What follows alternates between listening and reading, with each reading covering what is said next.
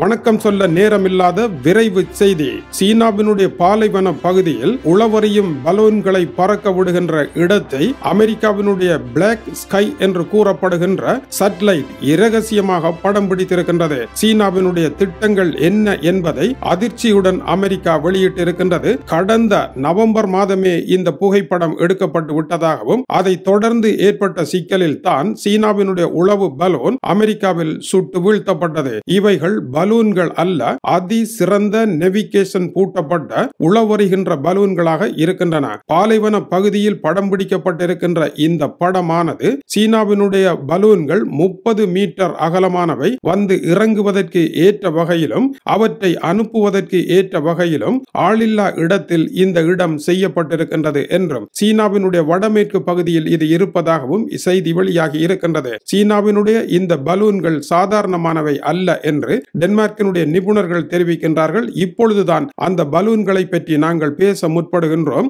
ஆனால் நீர்மூழ்கி கப்பல் எப்படி கடலின் அடியால் செல்லுமோ அதுபோல ஆகாயத்தில் பறந்து செல்லக்கூடிய ஆகாய விண்மீன் கப்பல்களாகவே இவை இருக்கின்றன. இவை சாதாரணமானவை அல்ல.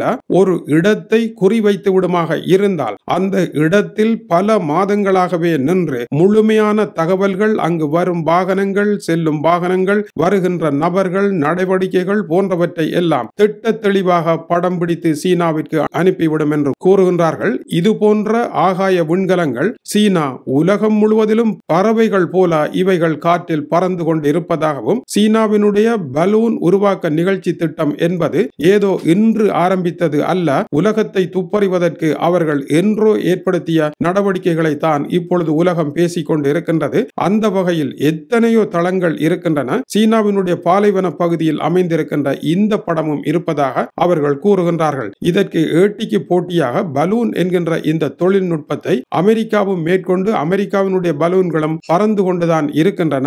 இருந்த பொழுதிலும் சீனா இந்த துறையில் அதிகூடுதலான கவனத்தை எடுத்து விட்டதாக முன்னரே செய்திகள் வெளியாகி இருக்கின்றன. ஒருபுறம் உலகத்தின் சமாதான புறாவாக நடமாடுகின்ற சீனா மறுபுறம் அந்த சமாதானத்திற்கு எதிரான மற்ற எல்லா நடவடிக்கைகளையும் செய்து கொண்டு இருக்கின்றது சீனாவினுடைய பலூனை சுடுவதற்கு முன்னதாக அமெரிக்கா இதுபோல் போன்ற தகவல்களை கை நிறைய சேகரித்ததன் பின்னர் தான் சீனாவினுடைய பலூன் சாதாரணமான காலநிலை பலூன் அல்ல அது உளவு பலூன் தான் என்கின்ற உறுதியான முடிவிற்கு வந்ததும் அதை சுட்டதும் அதன் பின்னர் சீனா அமெரிக்கா இடையே முருகல் ஏற்பட்டதும் இங்கு குறிப்பிடத்தக்கது. சீனாவினுடைய நோக்கம் மிக ஆழமாக சென்றுவிட்டது. சீனாவை உலகின் முதலாவது வல்லரசாக நிறுவுவதற்கான பணிகளில் இப்போதைய சீன அதிபர் ஜி ஜின்பின் எடுத்திருக்கும் முயற்சிகளில் இது ஒரு நடவடிக்கையாக இருக்கின்றது. அதேவேளை செயற்கை இன்டெலிஜென்ட் என்று சொல்லப்படுகின்ற ஏஐ தொழில்நுட்பத்திலும் சீனா பிரம்மாண்டமான வளர்ச்சிகளை கண்டுவிட்டது. சீனாவினுடைய இந்த வளர்ச்சிக்கு இணையாக மற்ற ஜனநாயக நாடுகள் வேகமாக வளர முடியாது என்பது குறிப்பிடத்தக்கது. ஜனநாயக நாடுகள் நூறு வருடங்களில் அடைகின்ற வளர்ச்சியை